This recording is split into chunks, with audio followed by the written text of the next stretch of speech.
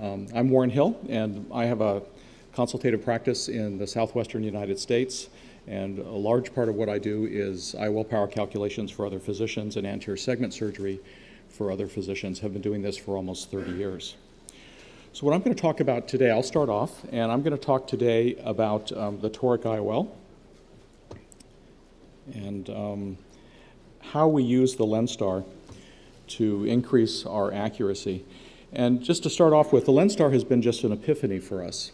And by way of background, we, we, we got the LenStar not for the keratometry, not for its use with the toric IOL, but for other things. We were doing some research and we needed a very accurate anterior chamber depth and lens thickness.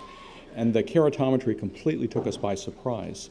And it's since been one of the, one of the most important features of, of this instrument.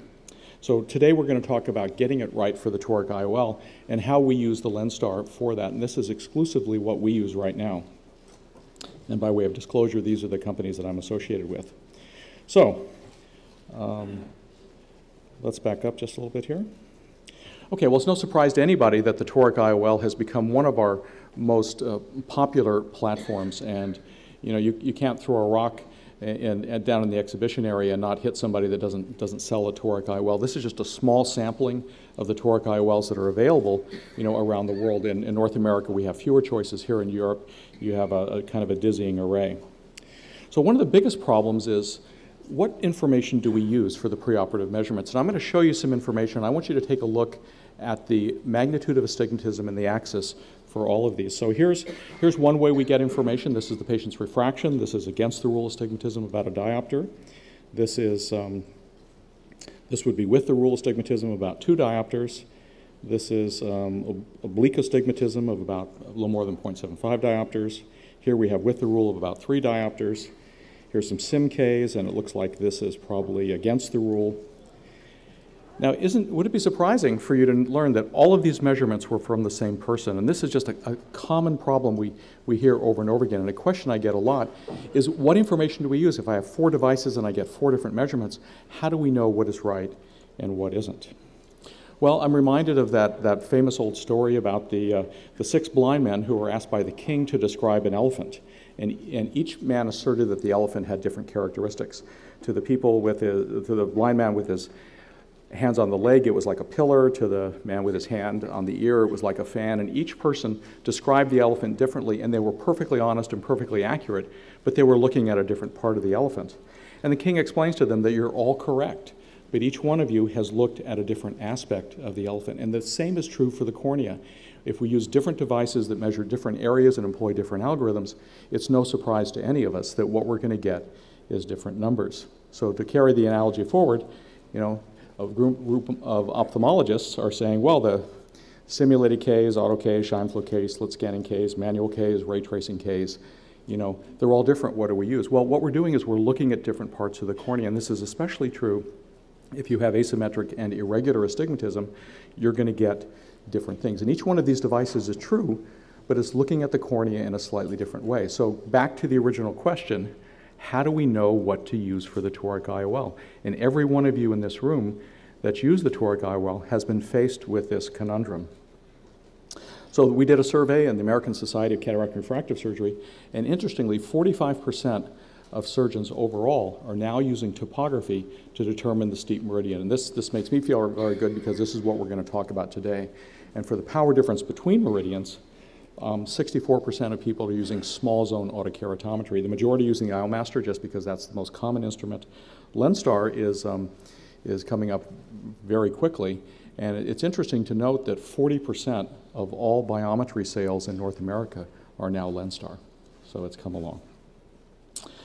Now, why is it even more important to know how to do this correctly? Well, most of your patients are low astigmats. It's the high astigmat that we remember, but it's a low astigmat that walks through the door. And if you have a low astigmat, it's, it's more and more difficult to be able to determine the steep meridian because it's sort of soft, especially if you do it on um, manual keratometry. So here's a, here's a thing that comes up all along. These are IOLMaster Ks. And if you look, all three of these measurements are exactly the same. But remember, astigmatism is a vector, which means it has both magnitude and direction. And here, the meridian, the steep meridian is different. And the question again comes up how do you know which one is right? Because if you're off by 10 degrees, that's a 33% diminution in the toricity uh, uh, correction. So if you have a T7, that's a, that's a one diopter error just built right in. So I'm a pilot, and what I, what I like to do is borrow things from other fields. There's no reason why we have to invent the wheel over and over again. And in aviation, they deal with the same problems of how do I know that this instrument's right and this instrument's wrong? And let's say you're flying along and you're in an Airbus here and we're, we're flying to London, and one of our instruments fails. We need some way to know that that instrument fails, or else all of us are going to have a really bad day in that airplane. So in aviation, we have a concept of what's called primary and secondary instrumentation. And I'm going to share with you how we use primary and secondary instrumentation for the toric IOL to know if we're correct. And the definition of a primary instrument is one where you know the information is correct if it's presented in a certain way. And a secondary instrument confirms. So here we are in the Airbus and we're flying along and we're, we're looking at something called a heading indicator, which is kind of like a compass. And we have secondary instruments. There's one called an attitude indicator and another called a turning bank indicator. And this is what we call the triangle of agreement. And if all three of these instruments agree, now we know where, where everything's correct. But if one of these instruments fails and the other two agree, it's probably the instrument that fails, I mean, that, that disagrees with the other two, that is incorrect. So using this philosophy borrowed from the commercial aviation world, we can go ahead and figure out some ways to measure the eye for the toric IOL. So what is it we're looking to do? Well, we have to think like the toric calculator. And the toric calculator doesn't care if the Ks are 46 and 45 or 45 and 44. What it looks for is a one diopter difference. And it also cares about the direction. Again, if we have an angular error, we're going to be off. So the two things we need to do is determine the orientation of the steep meridian and the power difference between meridians. That's all we have to do. And I'll let you in on a little secret. The Ks used to determine the spherical power of the IOL can be completely different than what you, use, what you put in the toric calculator. Again, the toric calculator doesn't care about the absolute value, it cares about the difference. So this is an insight into how the toric calculators work. So here, here's how we get started. This is an axial power map, and what you see immediately is you see the, the two lobes of the astigmatism. They straddle the corneal vertex. And if we were to draw a line through the corneal vertex and through um, the two lobes, the center of the two lobes, and we see where that intersects the axis scale in the periphery, that can only be the steep meridian. It can't be anything else. By definition, this is the steep meridian. So this is totally different than just looking at numbers and hoping for the best. 90 degrees to that, if this is regular symmetrical astigmatism, that would be the flat meridian. So believe it or not, uh, an axial power map of a topographer is your primary instrument for the steep meridian, okay? Now, for the power difference between meridians, we use autokeratometry, but all autokeratometers are not created equal. What we need to do is make sure that the steep meridian on the autokeratometry lines up with what we got for the toric IOL, and that validates the steep meridian and it validates the keratometry. So now we have a method to know what our steep meridian is, and then we also have a method to know is the keratometry being measured in the correct way. So 92 degrees is what we had on the topographic map, and now we know that that power difference is probably be correct. This is a way to look at the information and know that it's correct every single time. So just to go through everything again, here's our axial power map. There's our steep meridian, there's our flat meridian, here's our keratometry, and you notice the steep meridian keratometry lines up with what we know to be true from our primary instrumentation, and that's correct. And these, they, these are numbers you can use with tremendous confidence. Does anybody read Russian? Well, it's an old Russian proverb, okay? Trust but verify. So we, you know, we just, we just don't get a set of Ks anymore and hope for the best. That just doesn't, that doesn't work. So let's talk about the different types of autokeratometers. This is the IOLMaster, and for spherical power, the IOLMaster has been an old and trusted friend for a long time. The IOLMaster was really never set up to do toric IOLs, and let me just show you what goes on behind the curtain with the IOLMaster. It has three measurement points above and three measurement points below the horizontal, and if we look at measurement number two, this is what we have. And you can see that we're measuring here and here, but iterating the steep meridian here. So again, we only have three points above and three points below using the convention of 180, 0, and 180. Now, if we look at um, how the software works, basically it's, it's something that looks a little bit like two sine waves. These are our measurement points, and then this is what the software comes up with as a steep and the flat meridian. The uh, power is over here, the meridian's down below where the power is the greatest. Drop down, there's the meridian, that's the steep axis and the flat axis. You can see there's a lot of blank points here, so there's a lot of iteration that has to take place. This is the LenStar, an example of higher density autokeratometry. We have a lot more measurements. In fact, we have two rings, one at 1.65 and one at 2.3 millimeters. So there's the outer ring, there's the inner ring. And if we look at measurement number one, this is the steep meridian, and there's the flat meridian. And you can see there's not as much space in between. And if we look at how, uh, kind of an approximation of how the software works, it's actually not quite like this, but this is just a schematic method. You can see we have a lot more points, and there's less iteration that has to be done by the instrument. So higher density autokeratometry is much better suited to the, the process of the, using the toric IOL. Now, the people at Haag-Streit added a T-cone, which is actually a topographer. So it's a, it's a Placido topographer, not unlike what you use with, say, the Zeiss Atlas topographer. Looks like this. And this was validated against the Zeiss Atlas topographer, and that's basically an industry standard. So the accuracy is within a quarter diopter of the topographer, and it has the right number of Placido rings. It measures a 6 millimeter area rather than a 9 or 10 millimeter area and the power values are accurate to, to, within less than a quarter diopter for regular Lenstar keratometry. And so is the axis. So this is basically the best of both worlds. This is a topographic device that's as accurate as probably the most accurate Ks in the world. So this is a spectacular instrument.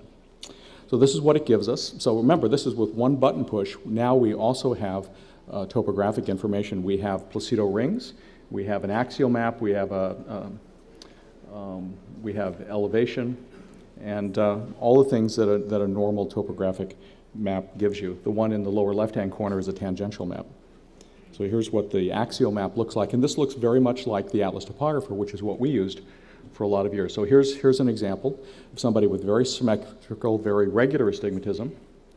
There's the axial map, and then we just go through the exercise. Here's the axial map. There's the steep and the flat meridian. Here are our Ks. You can see that the, that the steep meridian lines up with what we know to be true, what we've manually validated. So the Ks are, act we know the Ks are going to be correct. So again, here's Zeiss Atlas topography. And there's our steep and flat meridian, you know, just to repeat things. There's our keratometry. And we validate it. Now let's see what it looks like with the T-cone. There's a T-cone patient. You notice it looks exactly the same. So basically what you now have on the Atlas topographer, I mean the, the, the, the LenStar biometer, is the addition of a topographic map. So this is, we like to kid around and say it's like a Swiss Army knife. Basically you have topography, you have biometry, you have keratometry, you have everything.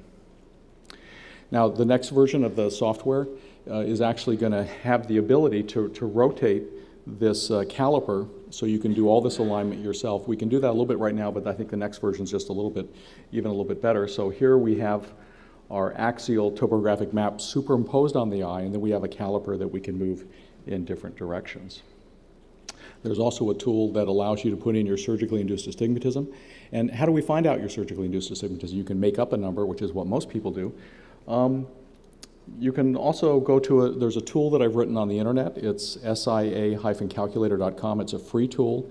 You go there and do a login and a password, and now you own your own database, and you can put in 60 cases or 60,000 cases, as many as you want, and it will sort by incision size, location, um, type, age, all kinds of things. And you can figure out what your surgically induced astigmatism is for superior incisions, superior temporal, temporal, 2.4 millimeters, 2.8 millimeters. And this is free. You can go ahead and, and go, to this, go to this site. So what are some of the things that influence surgically induced astigmatism? And when you, when you go to this site, you're going to notice there are going to be variations from one patient to the next. And the reason for that is that where the incision is located is going to determine how much astigmatism, surgically induced astigmatism you're going to have. Also the architecture, certain types of incisions give more uh, surgically induced astigmatism than others. And then those of you who are physicists in the room remember that Laplace's law says that the effectiveness of an incision in a sphere is related to the radius, the thickness, and rigidity. So each person is unique and individual. And of course, the folded diameter of the IOL passing through the incision. So it's not a bad idea to go ahead and determine your surgically induced astigmatism and then put this in the Haag-Streit um, uh, Lenstar biometer. Now, again, part of this talk is about getting things right for the toric IOL. I should also mention the axial measurements of the Lenstar. You know, here we have the anterior cornea, posterior cornea, anterior lens, posterior lens, RPE, and um, the, uh, the pigment epithelium. This is, uh, this is a, a, magnificent way to measure the axial length. So each eye compartment is measured individually. And not only is it measured individually, but the detail is amazing. This is the, this is the natural lens. Anybody know how thick the anterior capsule is? It's about 35 microns, isn't it? That's about six times thicker than a red blood cell. Posterior capsule is what? It's about five to seven microns. That's the same size as a red blood cell. We have a spike. We have an optical spike here. Not only that, but we can show the internal anatomy of the natural lens. So this is more than just a measurement. This is an incredibly accurate measurement that also gives us other information. And we'll just compare this to the, to the IOL master. It's a single global index of refraction that measures from the corneal vertex to the pigment epithelium, and that's it. That's the measurement. So the Lenstar is a completely different level of technology. This is the current form of the calculator, and uh, the nice people at Haag-Streit are going to be adding Graham-Barrett's calculator, and he'll be talking about that a little bit later on. The advantage of Graham-Barrett's calculator is that it also adds the posterior corneal astigmatism that all of you know about now, so that that separate mental calculation doesn't have to be done. And that's especially accurate for patients who have against the rule and oblique astigmatism to make sure that the lens is lined up correctly. So this is some of the tools that we have on the, on the software for planning for the toric IOL. Here we uh, have our steep and flat meridians. And you can also do, you can play with the incision. So here we have just a temporal incision.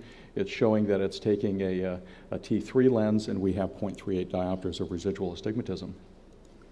And if we were to go to one of the tools and just change the location of the incision using this incision optimizer, we, it shows that if we go to, uh, looks like it's 73 degrees, we, it now, we now need a T2, a lower power lens, and the residual astigmatism is zero. So we have this incision optimizer, this outcomes optimizer that's on the Lenstar, which is just wonderful.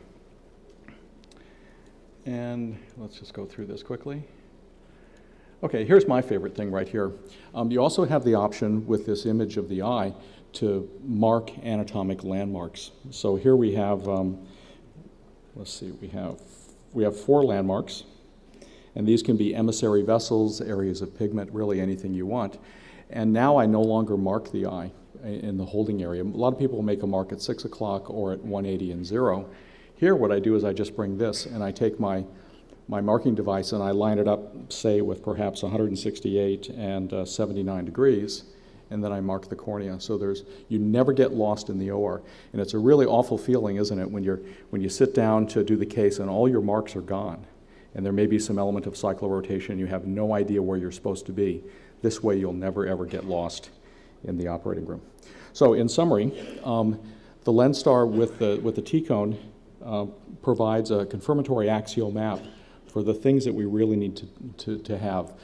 Manually determine the steep meridian and the power difference between meridians. And we, it's, the, the biometer itself gives magnificent axial length and all the other axial measurements as well as the Ks to calculate the spherical power. Um, the, the, the Lenstar has very sophisticated formulas. It has access to the Holladay 2 formula via an HTML bridge from Dr. Holladay's uh, software. And soon, I think, the Barrett formula will be added as well. And we have an axial map that validates the steep meridian and then the power difference between. And this is the most accurate way to do it. This is the way we've been doing it for quite a while, and we, have stopped having big surprises.